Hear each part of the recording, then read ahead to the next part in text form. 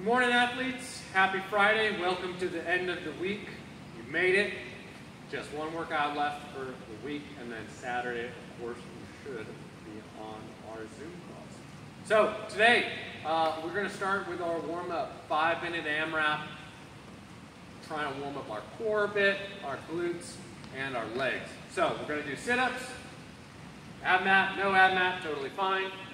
Then we're going to go glute bridge ups, feet close to our butt, bridging up out of that position.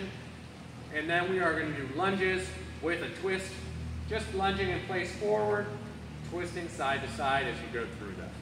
That'll be your warm-up, moving through that for five minutes. Strength portion today, you will need a dumbbell or kettlebell. We are going to be moving through EMOM style, 15 minutes, 45 seconds of work, 15 seconds of rest each minute. We're going to start with a dumbbell or kettlebell swing. You've got a kettlebell, just holding it by its handle normally. We're going to swing that just to eye level or overhead. Either is fine for today. If you're using a dumbbell, recommendation is to hold it by the head of the dumbbell. That way it can pivot a little bit around your hand.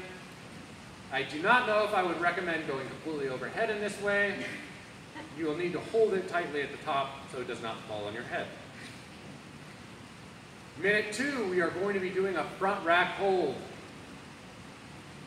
Very simple. All we're doing is holding in this position, standing position.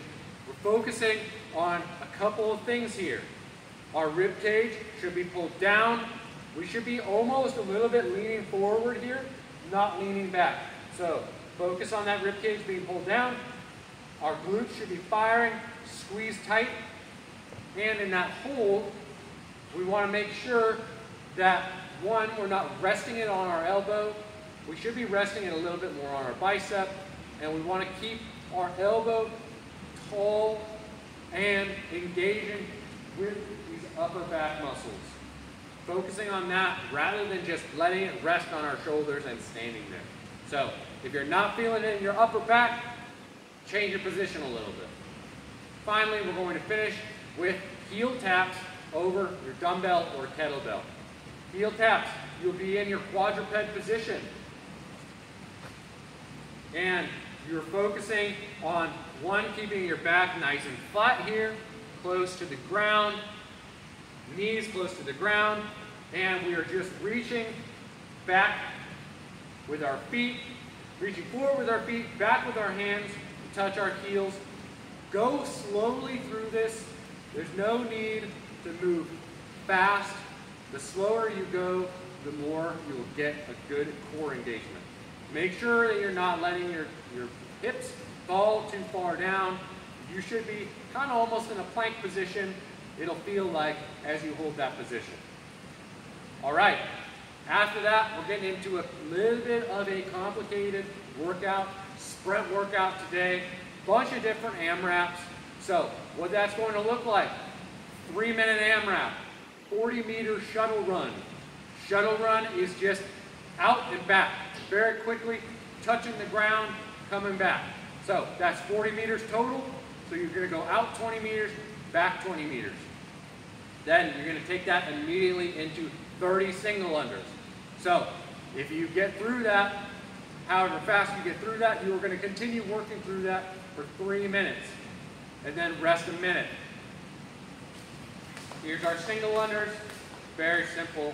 If you don't have a jump rope, just do hops in place.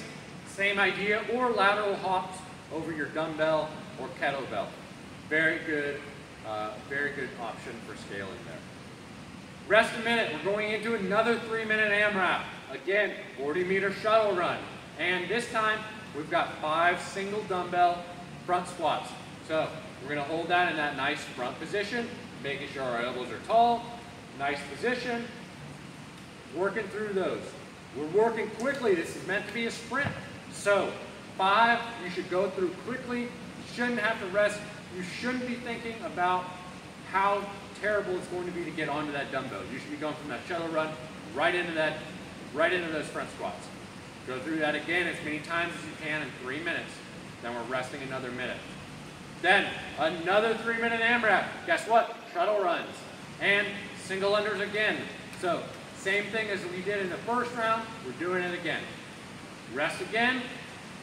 Three more mi minutes of AMRAP, same thing as before, shuttle run and front squats.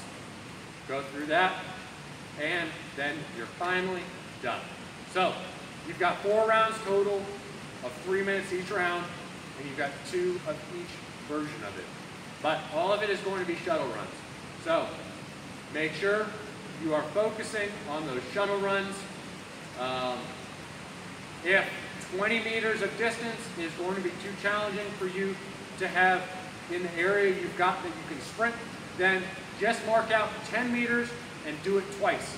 So you go out, back, out, back. That'll be your